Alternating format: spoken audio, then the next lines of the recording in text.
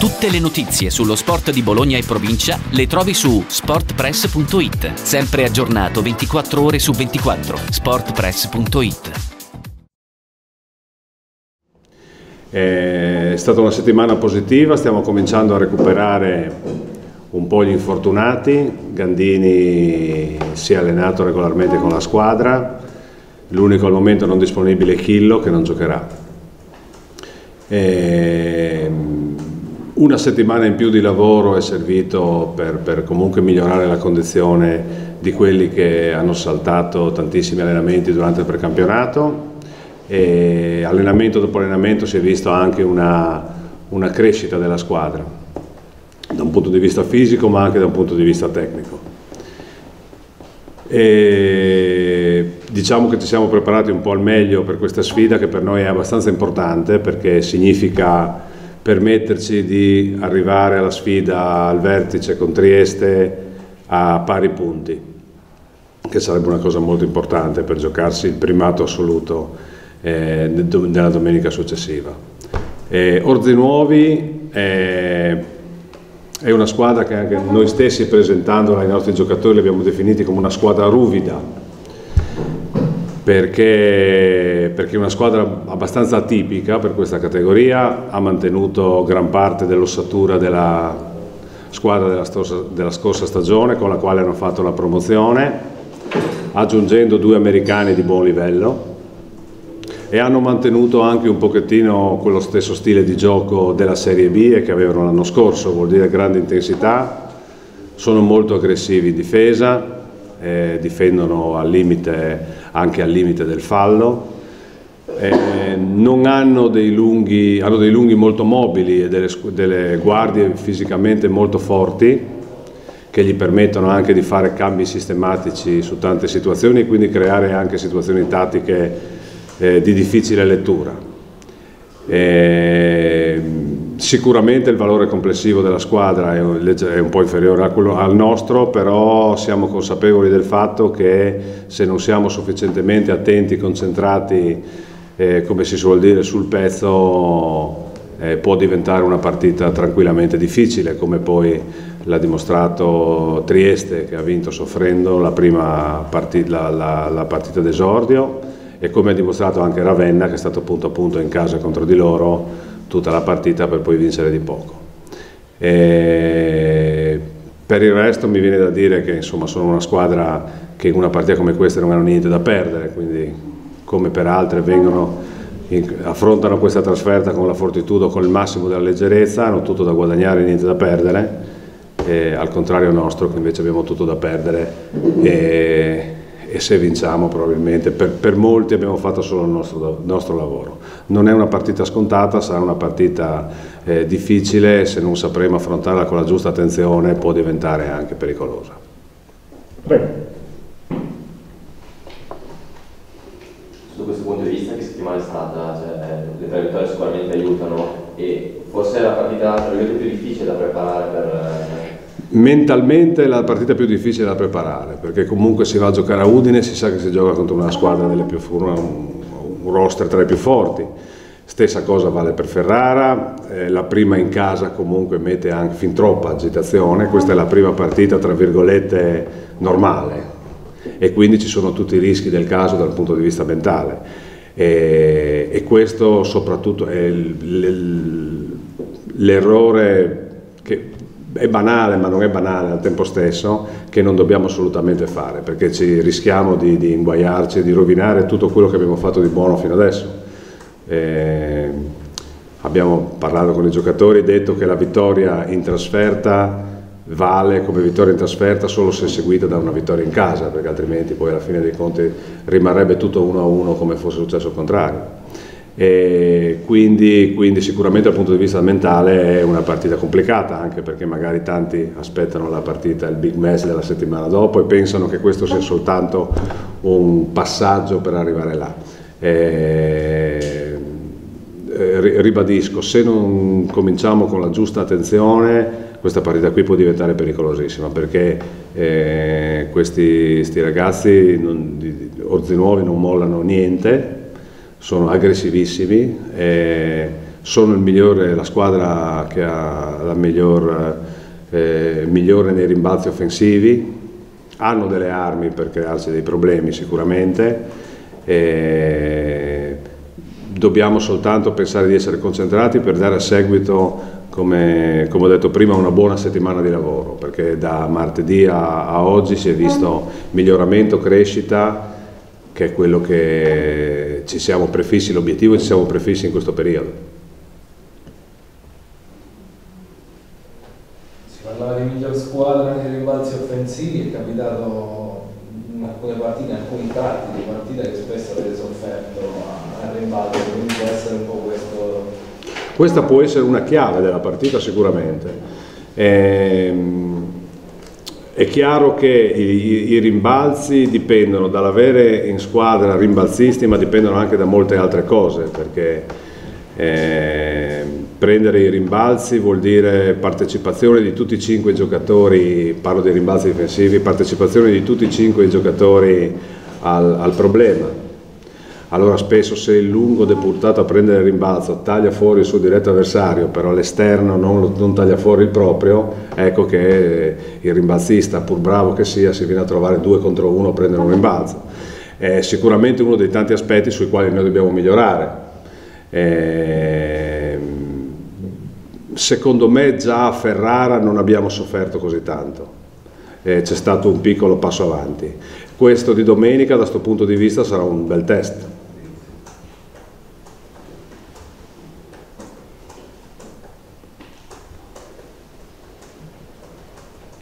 Chillo? Chillo eh, non giocherà, eh, non ha ancora iniziato a giocare 5 contro 5 con la squadra, sta ancora lavorando con il preparatore atletico e con il fisioterapista. Eh, secondo me durante la settimana prossima lo recupereremo, non so se già da martedì oppure qualche giorno successivo comunque ha cominciato a fare anche pallacanestro, a lavorare con la palla senza contatti ancora. E diciamo che lo staff medico lo rivaluterà alla ripresa degli allenamenti di martedì e potrebbe anche, se non ci sono problemi, potrebbe iniziare, insomma. altrimenti magari precauzionalmente gli darà ancora qualche giorno. Non è l'unico che ha avuto qualche problema questa settimana? Sì, sì, è l'unico, gli altri si sono allenati tutti quanti insieme senza problemi. Sì, ma sicuramente, eh, qualcosina in più, qualcosina in più, settimana in settimana l'abbiamo e dobbiamo partire comunque dal, eh, dal fatto che abbiamo avuto tanti giocatori infortunati, sempre diversi, su, in tutto l'arco della preparazione. E diciamo che in questo momento quello che ci manca è proprio lavorare con tutti quanti assieme per cominciare anche a costruire quella che è la squadra, l'identità della squadra, il, anche il conoscersi, anche il, il, le gerarchie, i minutaggi, i tempi che stanno in campo. Per esempio, faccio un esempio, solo per fare un esempio, McCamey sta giocando 35 minuti finché non ha avuto Fulz, finché Fulz era infortunato.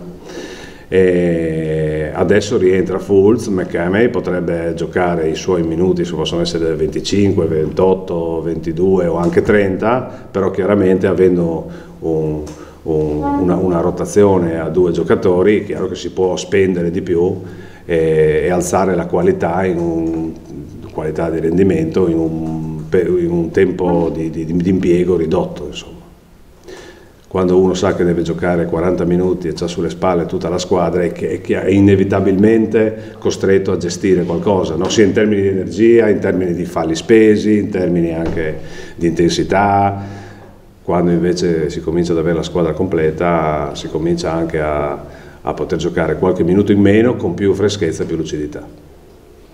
Se prima di Ferrara il grande atteso era Amici, come ex della partita e anche perché era il debutto.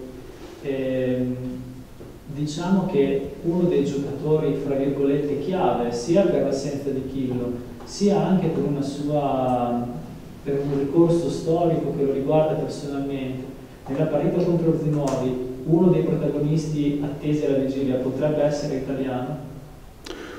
Ma sì, secondo me... Eh, italiano Ferrara ha fatto una buona partita. Certo. Eh, e, ha segnato anche una, un canestro da tre punti in un momento delicato che è stato importantissimo, forse anche il più importante di tutti. E, chiaramente, chiaramente la mancanza di Chillo un pochettino per certi versi lo mette nelle condizioni di giocare meglio perché gioca qualche minuto in più nel suo ruolo diciamo dell'anno scorso eh, è chiaro che questa cosa qui peraltro, peraltro rallenta un po' l'inserimento dall'altra parte, però magari gli può servire per prendere fiducia, eh, comunque, comunque, lui sta lavorando bene, si sta allenando bene, eh, ci sta dando dentro come un matto perché è proprio un suo obiettivo diventare, cambiare ruolo e diventare un numero 3. Io credo che di partita in partita lo vedremo, lo vedremo sempre meglio, adesso ci sa, probabilmente vedremo ancora alti e bassi per un po'. Però questo era previsto, era previsto già quest'estate, era previsto all'inizio e non, non, non, ci preoccupiamo, noi contiamo di averlo pronto più avanti nel momento in cui si deciderà tutto.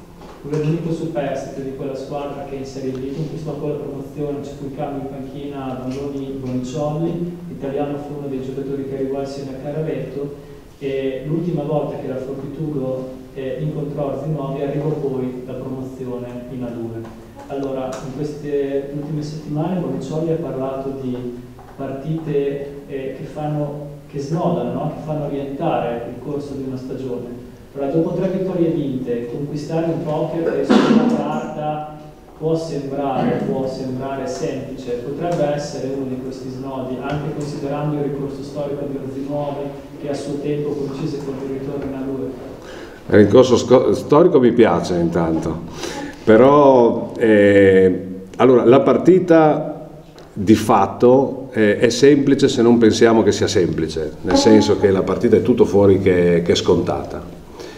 Eh, e una cosa che abbiamo detto ai ragazzi in settimana è che noi vogliamo questi due punti qui soprattutto per arrivare a punteggio pieno, come ho detto prima, alla, alla, alla sfida con Trieste. Eh, è chiaro che dobbiamo partire dal, dal presupposto che ci, ci, dobbiamo guadagnare tutto.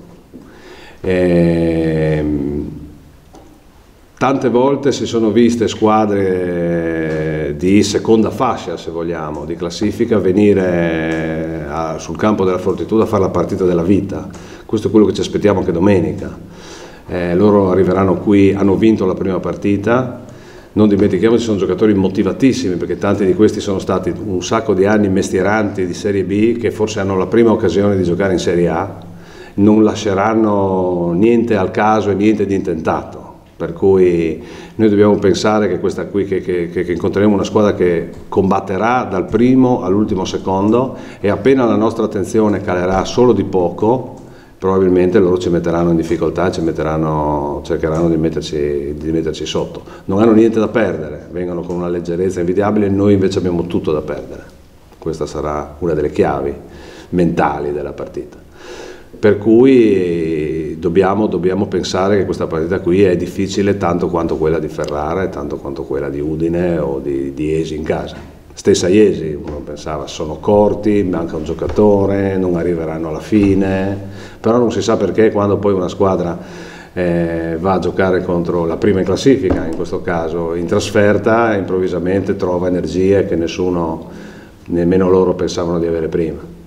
Questa fortitudo che pian pianino sta ritrovando un roster, sta ritrovando la profondità effettiva di un roster costruito con obiettivi importanti in estate, a questo punto eh, percentualmente quanto può produrre del suo valore, del suo potenziale?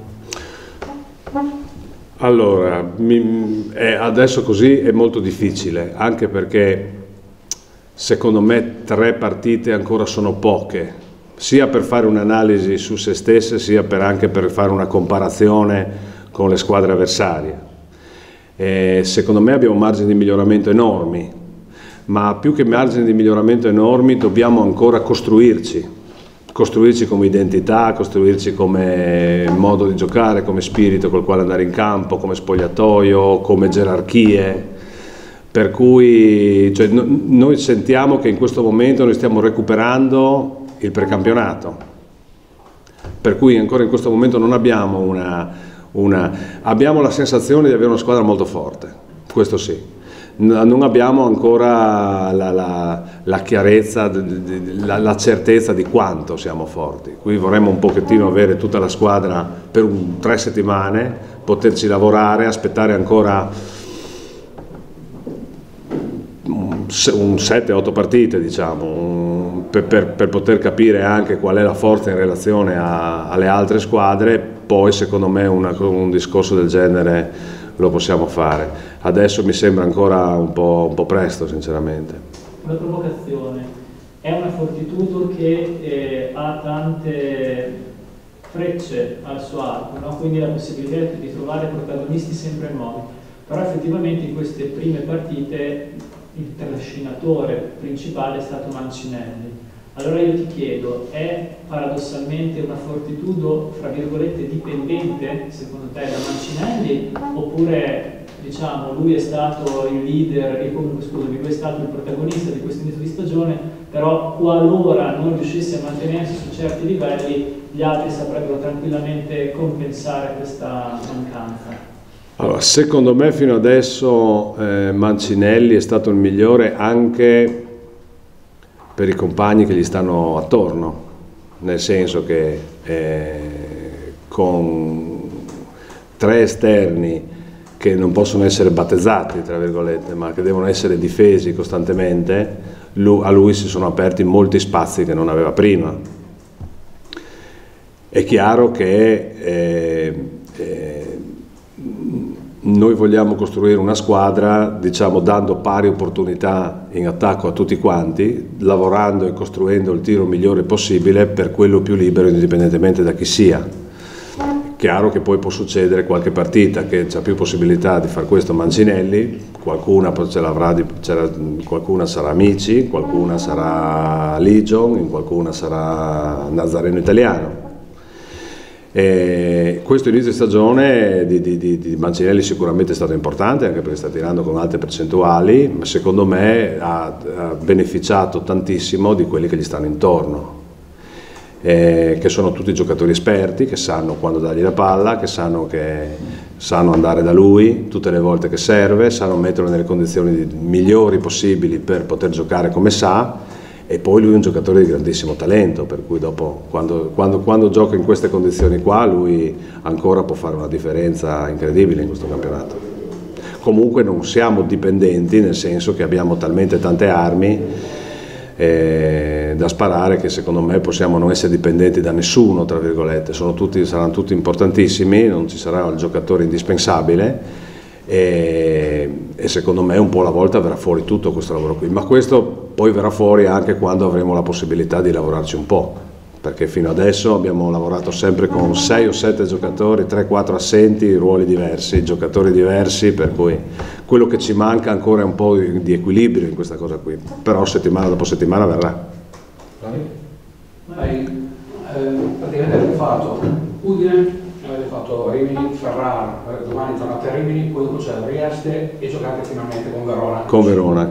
Che cosa, cioè quando vi manca il Paladozza e soprattutto, essendo praticamente sempre in trasferta, secondo voi, le, secondo te, le, la mentalità, cioè il fisico ne risente? Ma no, non, non, non ne risente, è chiaro che giocare al Paladozza non, è, non, è, non, cioè, non ha paragoni, non è uguale a niente, per cui insomma tutti quanti stanno aspettando quel giorno, tra virgolette.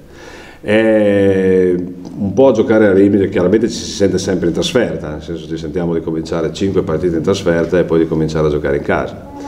Sinceramente a livello di pensarci non ci pensiamo tanto, cerchiamo di pensare una partita alla volta e comunque insomma fino adesso i, i, ragazzi sono stati serissimi, non hanno mai trovato alibi, scuse, giustificazioni, abbiamo sempre cercato di mettere in campo tutto quello che avevamo, per cui insomma non sento che, stati, che ci siano stati problemi dal punto di vista tecnico. È chiaro che il Paladozza ci manca, cioè, non, non, non, vediamo l'ora di giocare a casa nostra. Cioè, il nostro pubblico al nostro posto, al suo posto, è tutto quello che è il Paladozza. Insomma. Il Paladozza non è uguale, penso, in tutta Europa.